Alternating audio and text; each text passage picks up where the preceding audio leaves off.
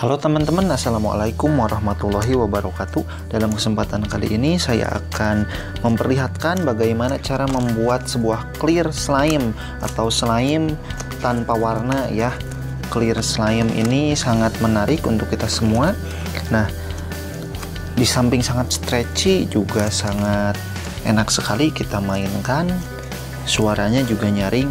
Oke teman-teman langsung saja kita lihat bagaimana tutorial cara pembuatannya. Sebelumnya silahkan kalian klik tombol subscribe lalu aktifkan tombol lonceng sampai terlihat berdering sehingga kalianlah yang pertama tahu ketika ada video terbaru.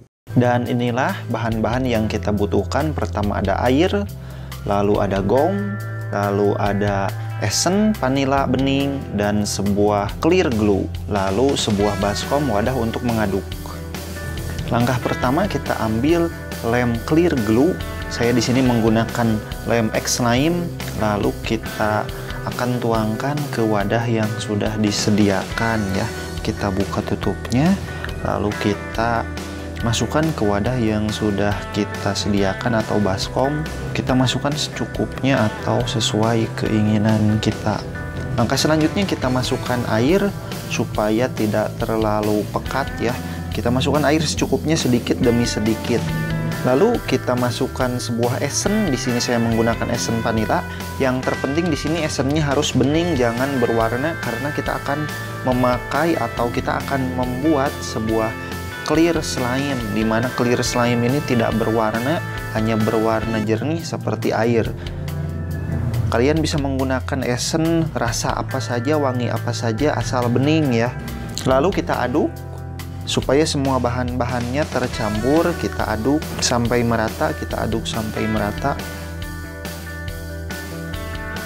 Selanjutnya kita masukkan gom. Di sini gom berfungsi sebagai slime aktivator atau slime X ya, di mana berfungsi agar slime kita bisa menggumpal yang tadinya cair supaya bisa menggumpal. Nah di sini kita memasukkannya sedikit demi sedikit, jangan langsung banyak.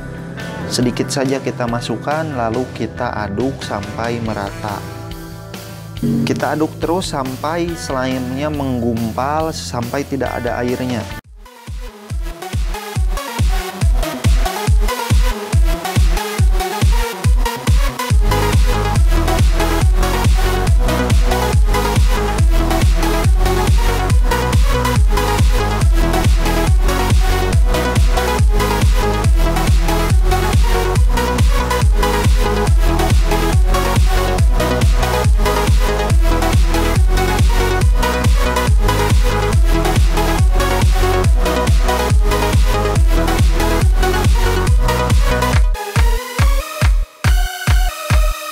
Sekarang kita tambahkan lagi gom karena masih belum menggumpal.